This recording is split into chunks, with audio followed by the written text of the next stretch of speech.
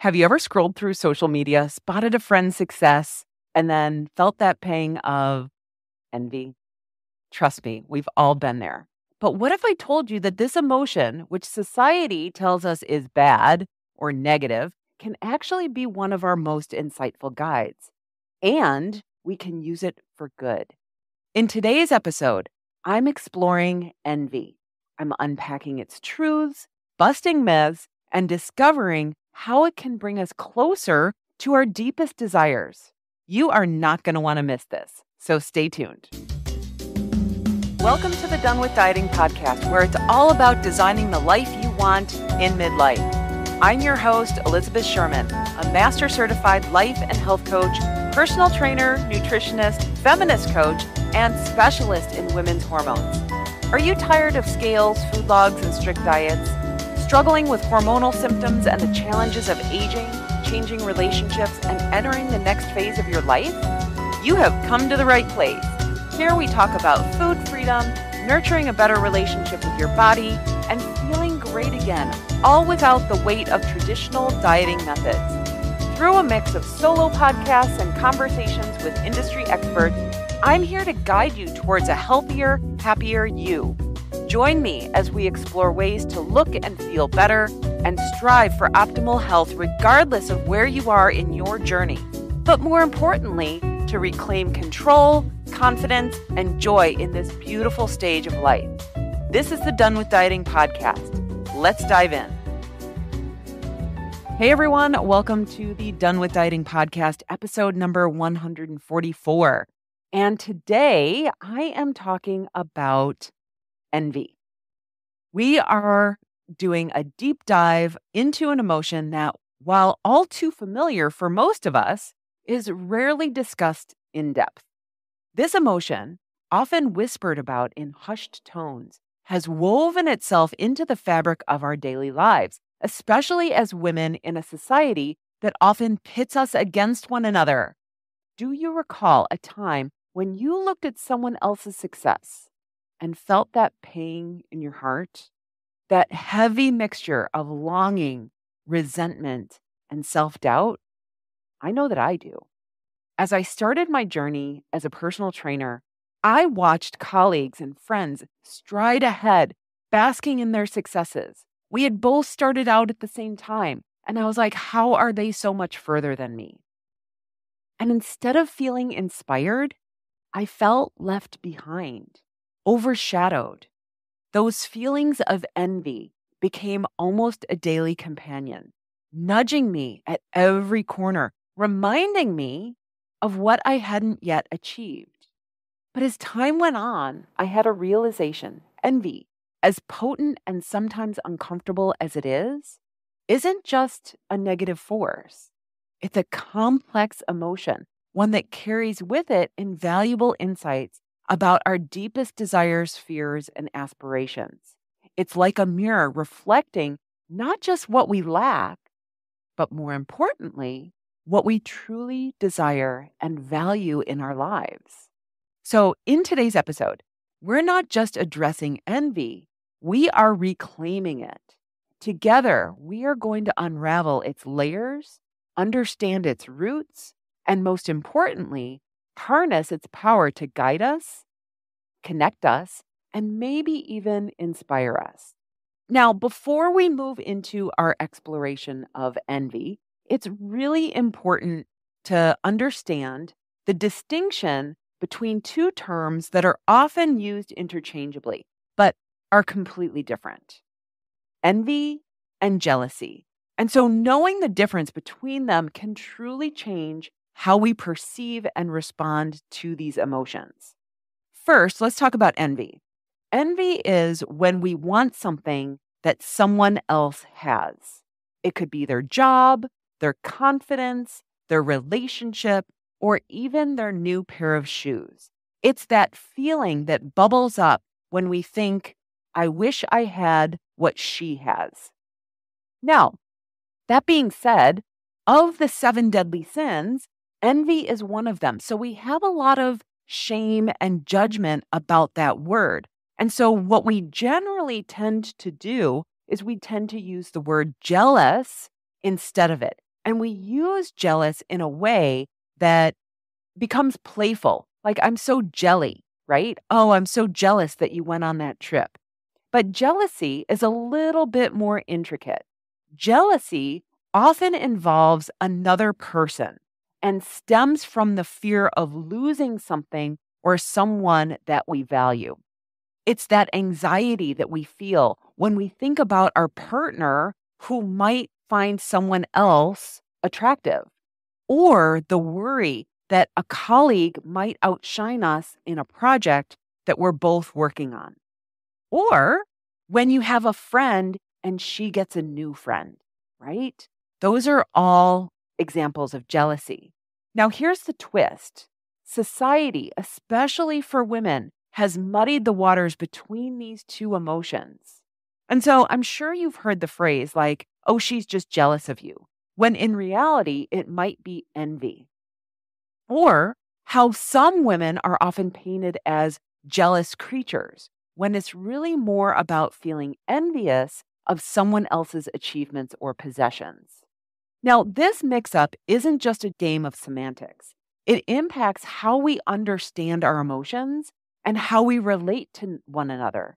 When we say someone is jealous of our success, it's as though they're begrudging us or something that's rightfully ours.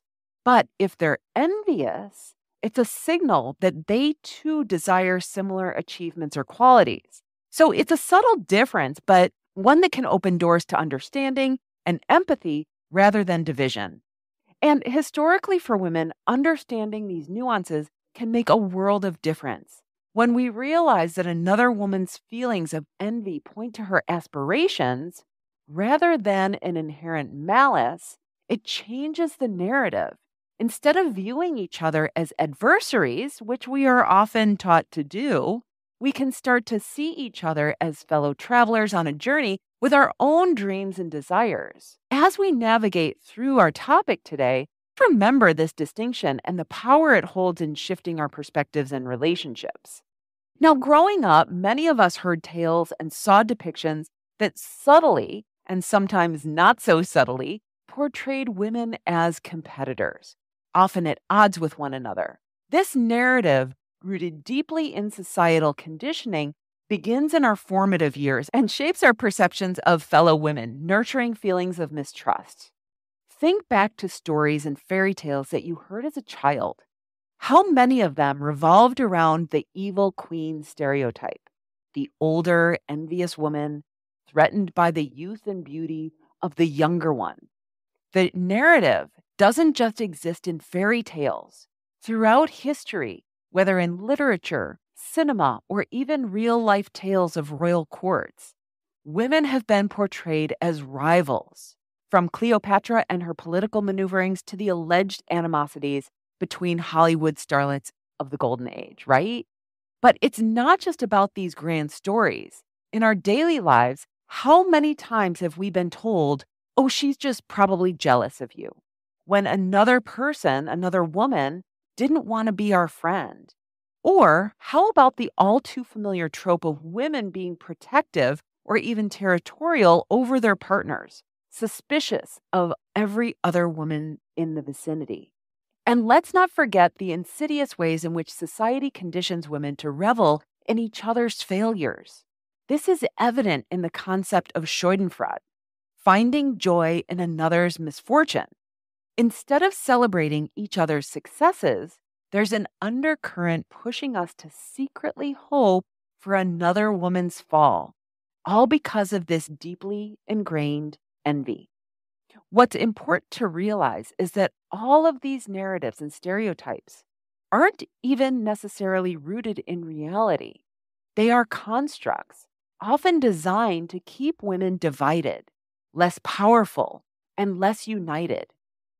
When women are kept in competition, always wary of one another, they're less likely to band together and less likely to form strong alliances, and therefore less of a threat to the patriarchal structures that have historically dominated. Recognizing these ingrained narratives is the very first step. As we move forward, let's challenge these tales and rethink the stories we tell the next generation. Let's paint a picture where women lift each other up, where envy is recognized, understood, and transformed into inspiration, and where sisterhood truly thrives. Now, as I look back on my own journey, especially the early days of starting out as a personal trainer, there's a memory that clearly stands out. It's a painful lesson in envy and self awareness. It's a story that I believe that you might resonate with, or perhaps it might shine a light on areas of your own life. So picture this freshly certified, bursting with enthusiasm and dreams. I was so ready as a personal trainer to change lives. One client at a time, I envisioned days filled with successful sessions, transformative stories, and building a thriving business. But as we all know, the journey of entrepreneurship isn't necessarily a straight line. So there were ups and downs and twists and turns. Now, around the same time, I had friends also who were not in the exact same position that I was, but also in the health and wellness space who seemed to be leaping just bounds ahead of me. Every single time I logged onto Facebook, there they were, launching new programs, celebrating their clients, or sharing pictures of packed workshops and classes. And with every single post, each success story, a feeling grew inside me. It wasn't pride or happiness for them. No, it was that gnawing persistent feeling of envy. It pretty much destroyed me because of the negative thoughts that I had going on in my head about what it meant about me. I'd find myself asking, why them? Why not me? And in my mind, their success became a mirror reflecting back all of the things that I wasn't achieving. Their milestones felt like markers of my failures. The envy was so overpowering that, quite honestly, I unfriended all of them. I thought if I don't see it, I'm not going to feel it. It was my way of shielding myself from those negative emotions. However, with time and introspection, I actually came to realize that what if their successes didn't have anything to do with me, that their successes weren't a marker of my inadequacy, but rather showing me what was possible? That these friends, these incredibly talented women, weren't flaunting what I lacked. They were actually showcasing what was possible for me, what could be achieved with hard work, determination, and passion. And so this shift in perspective was game changing.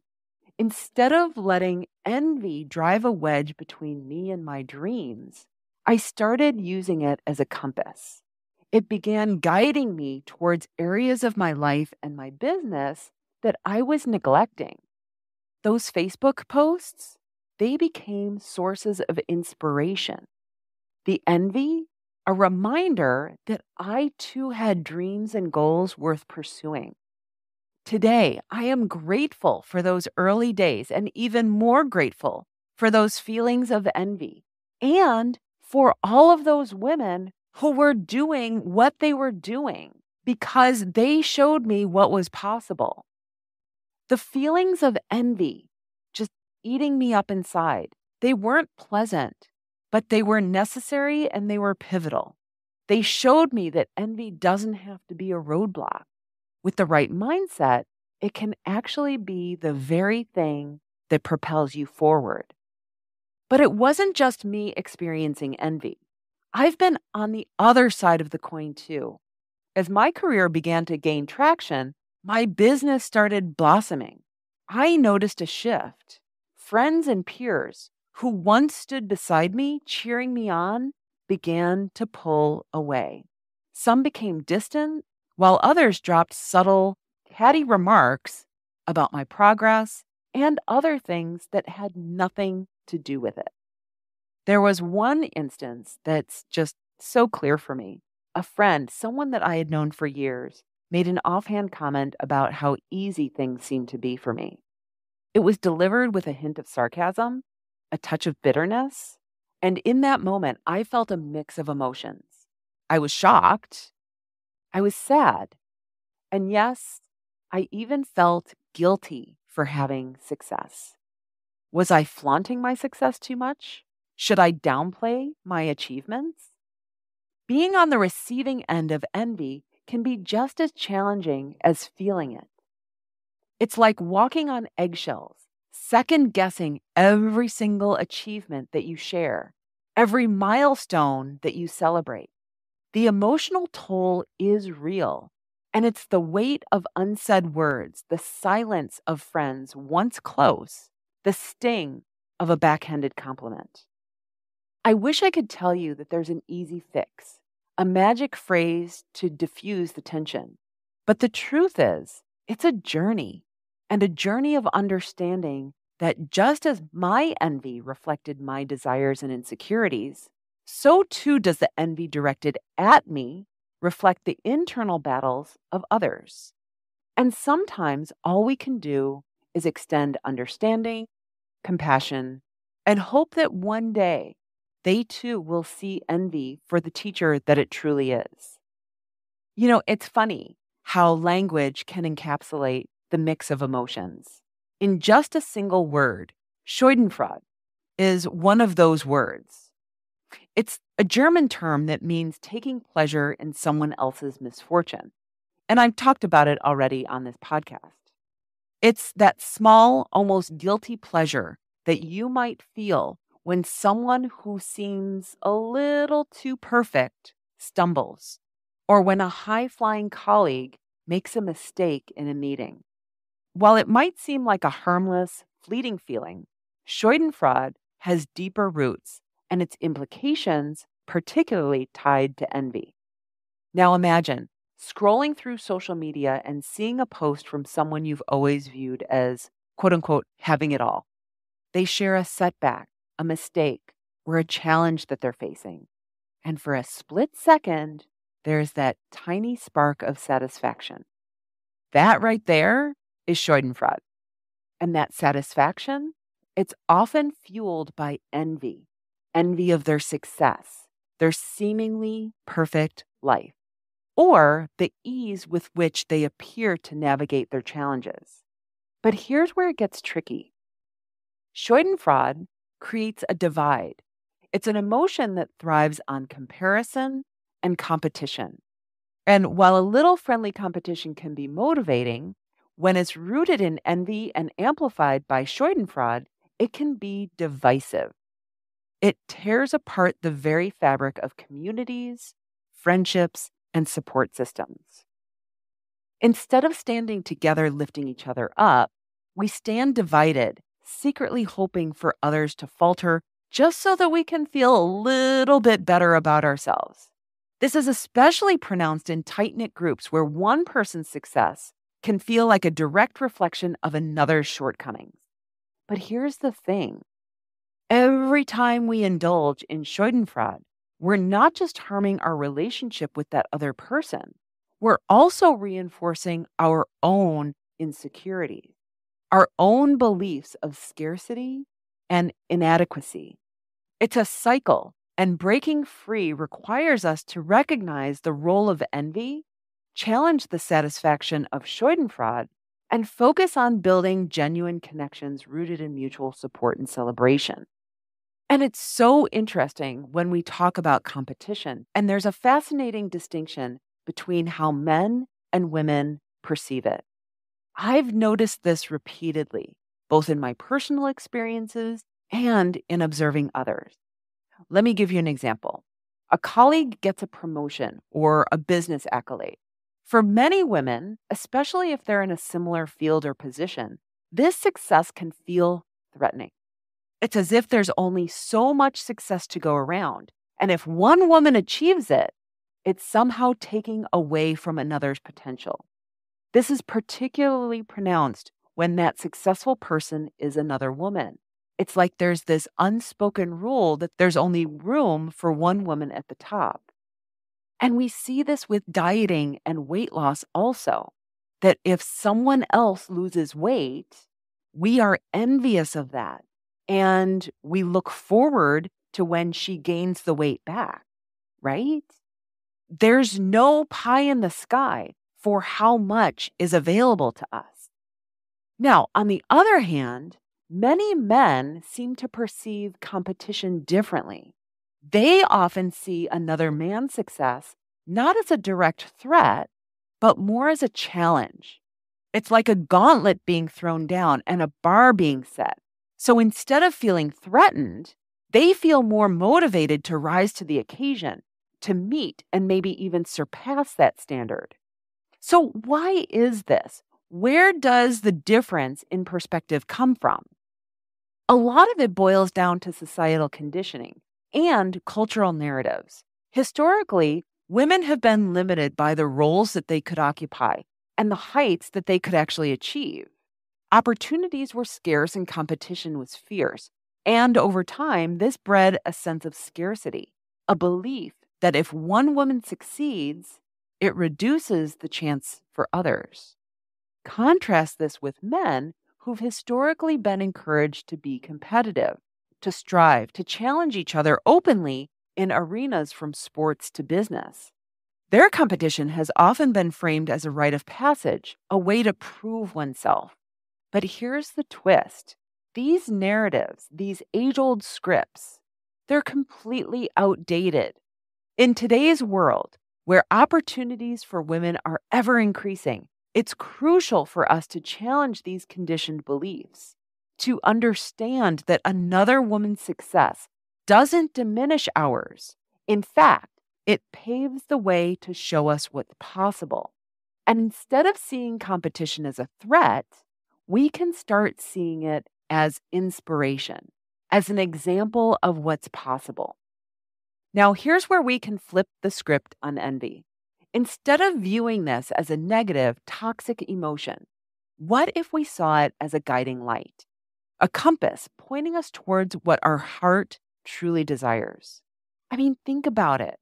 When we feel envy, it's often a reaction to seeing someone else possess or achieve something that we desire deep down. It might be success, a type of relationship, a level of health, or even a particular lifestyle. The sting of envy, that's just our inner self nudging us, whispering, Hey, you want that too. But instead of listening to that inner voice, what do so many of us do? We push it away. We tell ourselves stories that it's not possible for us, that we don't deserve it, or that it's out of reach. We look at what others have and think that there's a limited supply. But here's the truth life is not a pie.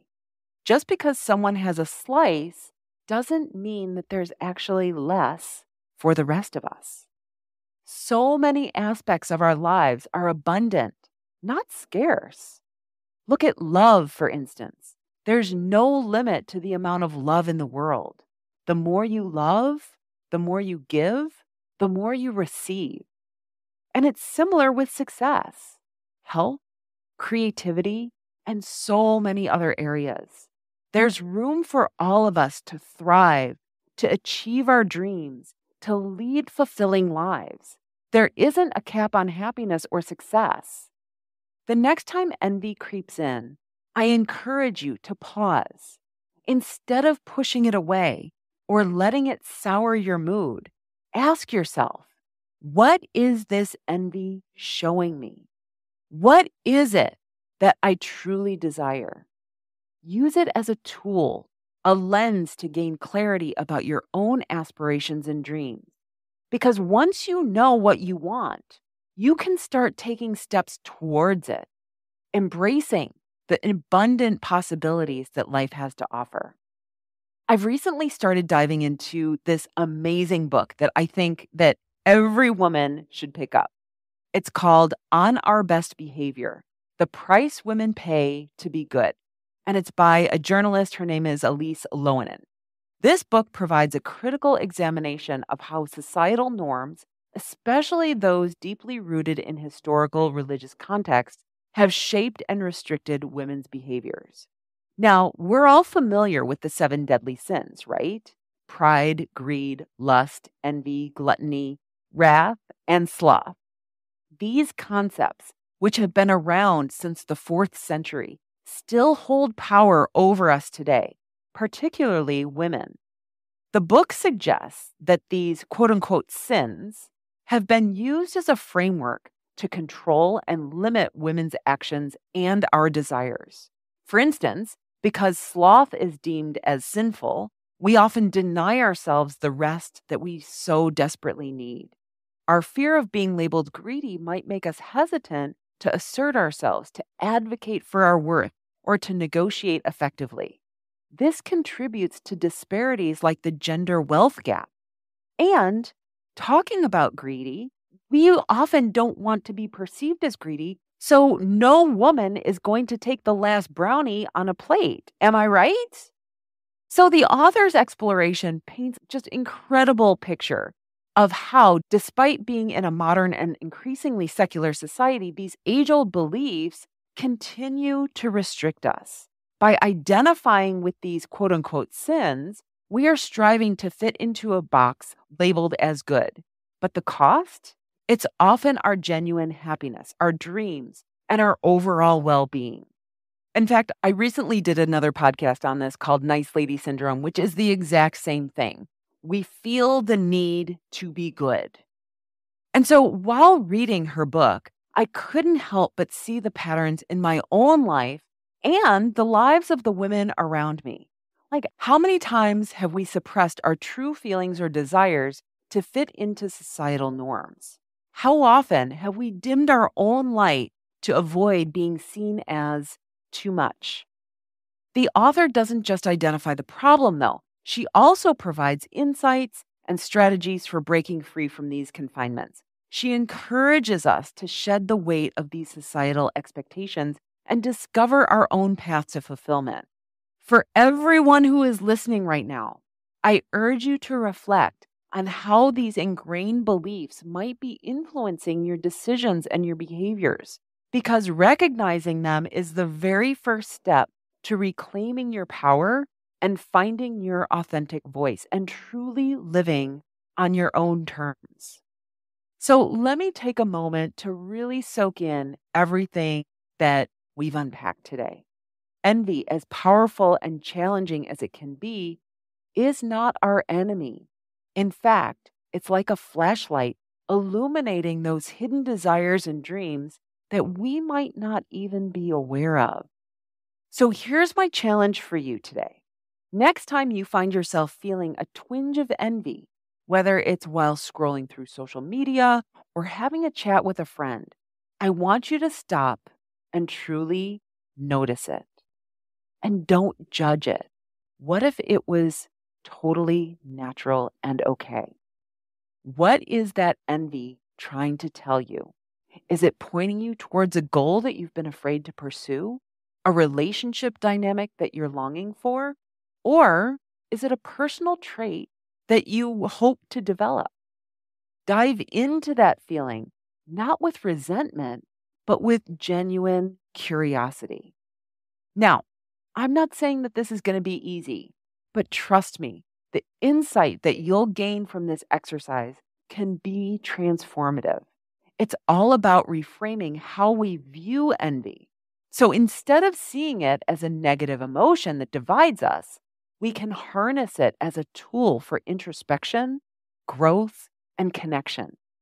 And if you're looking to dig deeper into this journey to truly understand and embrace all of the emotions and challenges that come with midlife, I am going to invite you to join us in the Feel Good Sisterhood. It's a community of just amazing, wonderful women just like you, navigating life's twists and turns together, celebrating successes, and lifting each other up during the challenging times. You are not alone in this. We are all in this journey of self discovery and growth together. Let's walk the path hand in hand and use every emotion, even envy, as a stepping stone to a richer, more fulfilling life. As I wrap up today's episode, I'd like to take a moment to reflect on this unique emotion of envy that's been with us, shaping our choices, influencing our reactions, and sometimes even dictating the narrative that we tell ourselves. While it may have a bad reputation, it holds such promise for personal growth. As we've uncovered today, envy can be a guide, a mirror reflecting back what we deeply desire or feel might be missing from our own lives. But instead of letting it pull us apart, let's harness it to draw closer together. Another woman's success is not your failure. Her shine does not dim yours. If anything, it is a beacon illuminating the path for all of us. In a world that sometimes seems designed to pit us against one another, I urge you celebrate each other, celebrate yourself. Let's cultivate a community where we cheer each other on, offer a hand when someone stumbles, and rejoice in each other's achievements. Together, we are more than capable of turning envy from a wedge that divides us into a bridge that connects us. Let's walk that bridge together towards understanding, acceptance, and above all, unwavering support. That's all I have for you today. Have an amazing day, everyone, and I will see you next time. Bye bye. Hey there. I am so glad that you spent this time with me today. Are you feeling inspired to take control of your health, but not quite sure where to start? Or maybe you're ready for that next step towards food freedom, body neutrality, and consistent eating habits. Either way, I've got something just for you. If you're a woman in midlife who's done with dieting and ready to embrace a healthier relationship with food, your body, and self, let's connect. Whether you're interested in private coaching with me or my amazing group coaching program, we'll discover what's perfect for your unique journey. So, why not book a consult? It's a chance for us to chat one on one, explore your needs, and find the path that's meant for you. Just head to elizabethsherman.com slash consult and let's get started. I truly believe that transformation is within your reach, and I'm here to guide you every step of the way. It's your time to shine, and I can't wait to support you in this amazing journey. Thank you again for listening, and remember, I'm always here for you. Take care, and I'll see you soon.